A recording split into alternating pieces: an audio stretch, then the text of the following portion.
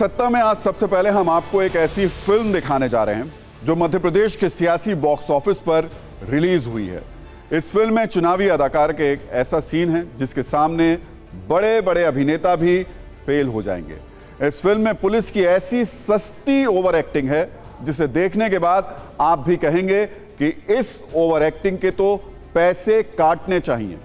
इसमें व्यवस्था की भी चुनावी अदाकारी है जिसमें लोगों की भावनाओं और संवेदनाओं के साथ बहुत महीन तरीके से खेला गया। और इस सब की टाइमिंग है चुनाव से चार महीने पहले। नोट कीजिएगा।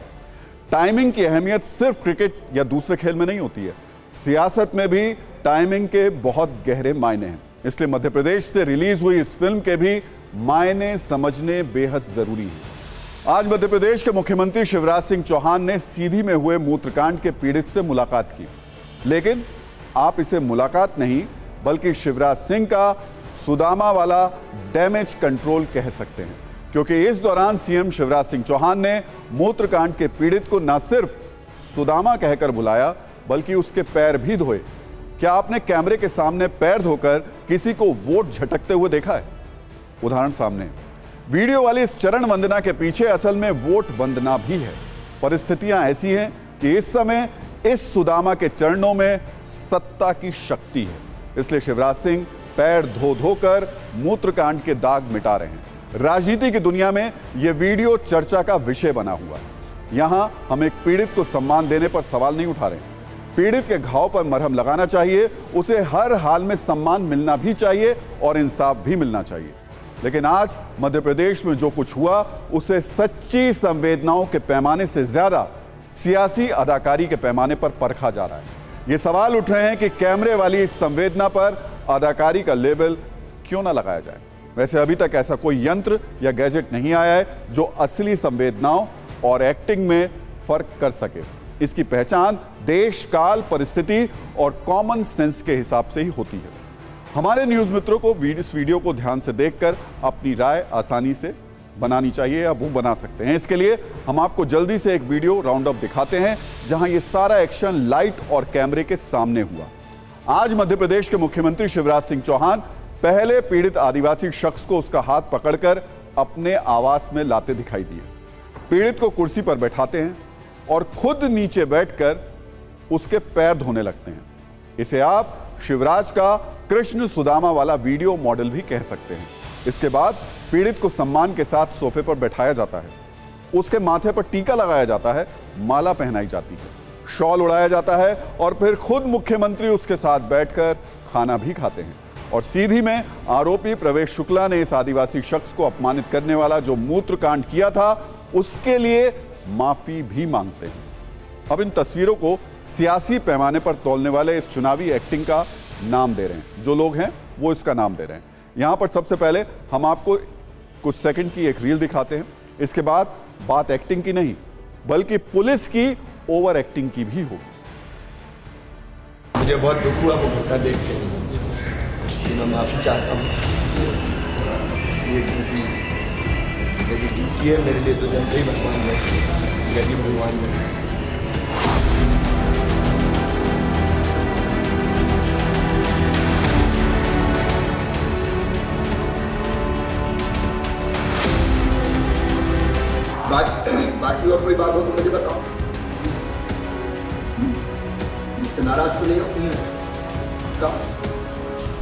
व्यथित था और मैं अंतरात्मा से मानता हूँ कि गरीबी हमारे लिए पूज्य है और उसका अपमान मतलब हम सबका अपमान है।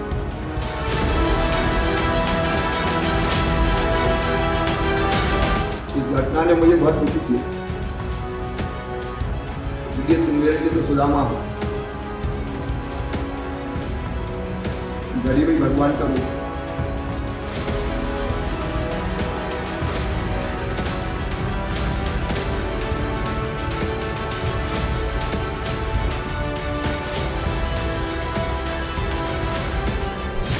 मैं कोई मैं कोई भगवान कृष्ण जैसा नहीं हूँ, लेकिन मुझे लगा कि मेरा भाई आया है तो मैं प्रेम से उसको गले लगाऊँ और उसको सम्मान देने की कोशिश करूँ। यही भाव मेरे मन में।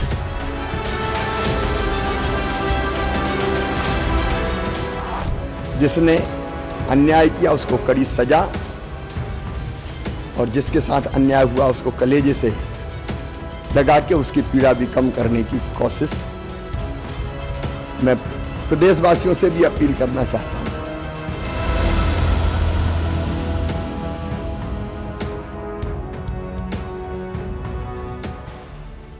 तो अब शिवराज सिंह चौहान ने कैमरे के सामने पीड़ित का जो सम्मान किया उसे संवेदनशील चरण वंदना नहीं, बल्कि सोची समझी वोट वंदना भी कहा जा रहा है। लोग ऐसा कह रहे हैं।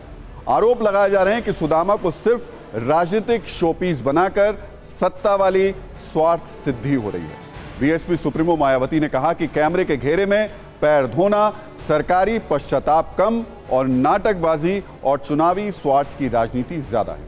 कांग्रेस नेता तो यह भी आरोप लगा रहे हैं कि पीड़ित को अगवा करके सीएम आवास लाया गया था और यह सब कुछ पैर धोकर वोट बटोरने वाला एक स्टंट है।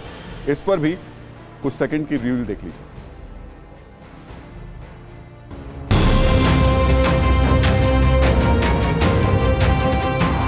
सिद्धि के पेशाब कांड मामले में पीड़ित दशमत रावत से आज खुद मुख्यमंत्री शिवराज सिंह चौहान ने मुख्यमंत्री आवास में मुलाकात। कर इस मुलाकात पर अब सवाल खड़े हो रहे हैं। कांग्रेस का कहना है कि दशमत रावत को अगवा किया गया।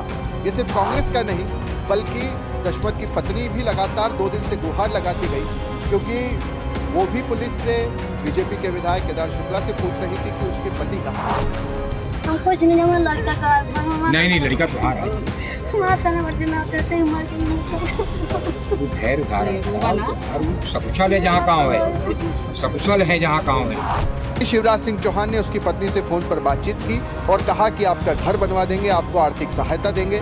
पत्नी ने कहा कि उसे घर और पैसा नहीं बल्कि उसका पति उसका आदमी चाहिए। हमारा मकान भी पूरा बनवाना है और वो कुछ और भी मैं काम धंधा करूँ उसके लिए पैसे भी करवा रहा हूँ।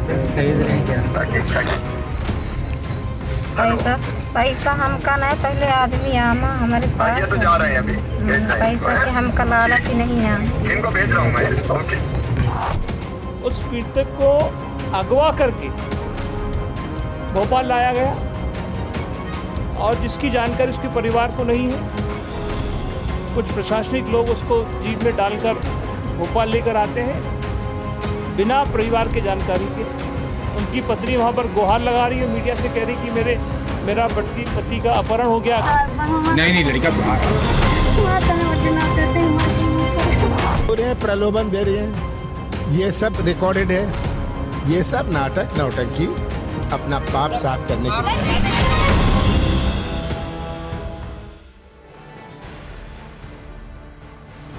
तो शिवराज सिंह चौहान के बाद अब बात उनकी पुलिस की। जो ना सिर्फ़ लॉ एंड ऑर्डर को कंट्रोल करने में कमज़ोर है, बल्कि अभिनय में भी बहुत ज़्यादा कमज़ोर है। मध्य प्रदेश से जो फ़िल्म रिलीज़ हुई, उसमें पुलिस की ओर से भी ओवर एक्टिंग वाले सीन भर भर कर डाले गए। इसे समझाने के लिए सबसे पहले हम आपको वो वीडियो दिखाते हैं, जब पुलिस मेडिकल जाँच के लिए प्रवेश शुक्ला को लेकर गई थी। पुलिस ताव दिखाते हुए आरोपी प्रवेश शुक्ला को लेकर थाने से निकली। एक पुलिस वाले ने उसका कॉलर पकड़ रखा था। जबकि बाकी पुलिस वाले पूरी कोशिश में लगे थे कि उनका एक भी फ्रेम कैमरे से मिस ना होने पाए। कैमरा देखते ही एक पुलिस वाला बार बार आरोपियों की पीठ पर ऐसे हाथ मारने लगा, जैसे कोई तांगे वाला अपने घोड़े को हाँकता है। तभी कैमरा कॉन्शियस एक पुलिस वाले को यह लगा कि कहीं उसका किरदार इस पूरे नाटक से बाहर ना निकल जाए।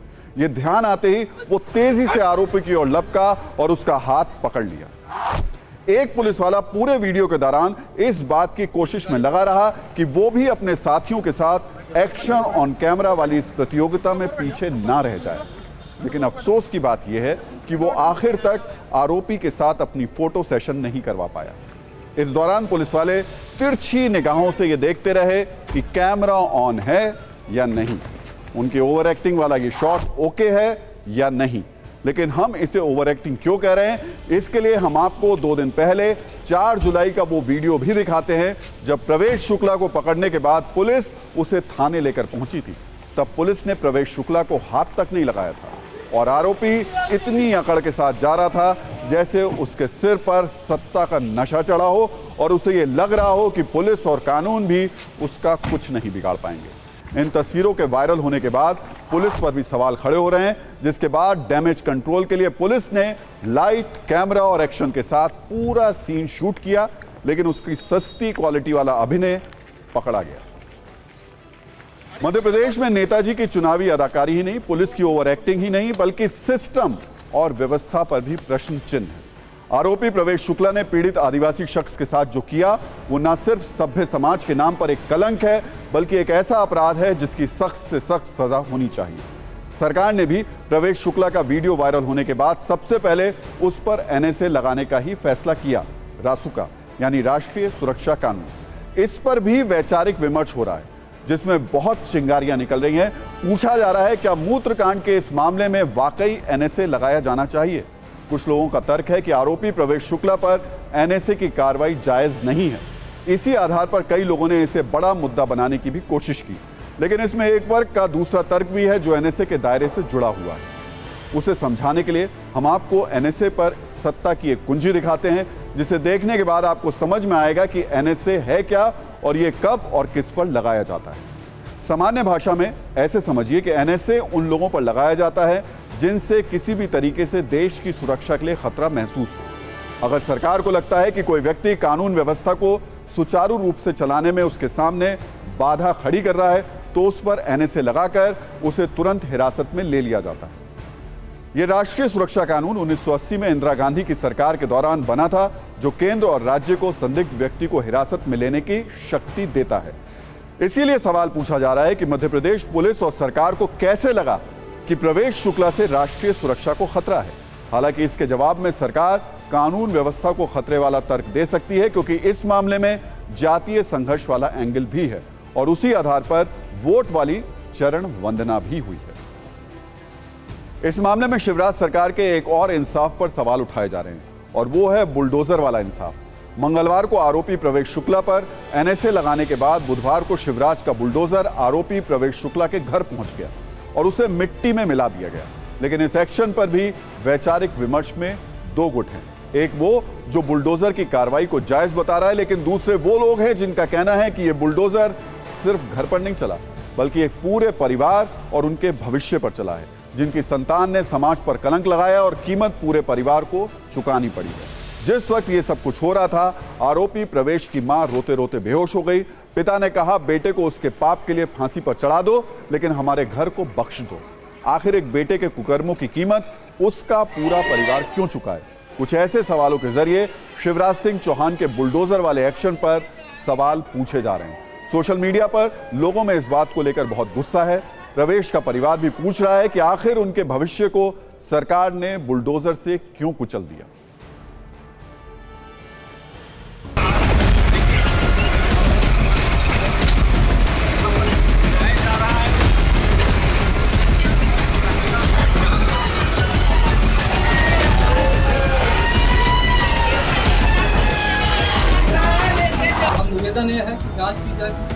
सत्यता है तो उसको फांसी दे हम तो वो नहीं है। अगर ऐसा कित किया है तो उसको फांसी होनी चाहिए। लेकिन हम पूरे परिवार निर्दोष हैं। हम परिवार बेघर न किया जाए, न मारा जाए, न हम लोग को बता दिया जाए।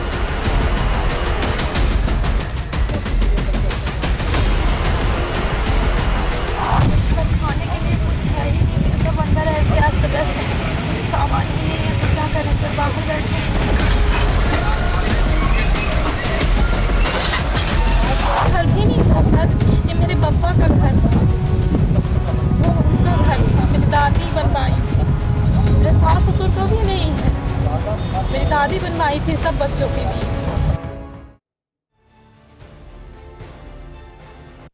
आपको याद होगा, इस खबर की शुरुआत में हमने एक शब्द का इस्तेमाल किया था, वो है टाइमिंग इसलिए मध्य प्रदेश में मामा के सुदामा वाले डैमेज कंट्रोल की टाइमिंग को लेकर भी आज कई सवाल पूछे जा रहे हैं, क्योंकि ये सब कुछ चुनाव से करीब चार महीने पहले हुआ है। अब हम आपको इस सवाल की वजह भी बताते हैं। दरअसल, जिस पीड़ित शख्स के साथ आरोपी प्रवेश वर्मा ने घृणित अपराध किया वो आदिवासी समुदाय से है।